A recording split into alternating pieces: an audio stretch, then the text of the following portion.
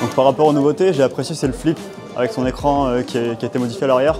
On a, un écran beaucoup plus grand avec plus de personnalisation. Je vais pouvoir aller plus loin que normalement où j'ai un seul fond d'écran, un seul style. Là, chaque jour, je vais pouvoir changer, je reste appuyé sur l'écran et je peux slider de l'un à l'autre et choisir un petit peu le fond que j'ai envie. Et au niveau du Fold 5, euh, ce qui est impressionnant, c'est euh, qu'il est beaucoup, beaucoup plus fin. Et puis euh, au niveau du pli, c'est beaucoup moins visible et beaucoup moins senti que l'année dernière. Donc pour la Galaxy Watch classique, on a le retour du cadran rotatif. Ce qui va vraiment changer, c'est la taille du cadran. On a un bord qui est beaucoup plus fin que l'année précédente. Et après, on a aussi les nouveautés sur les Tab S9, une évolution de la Tab S8, donc c'est super.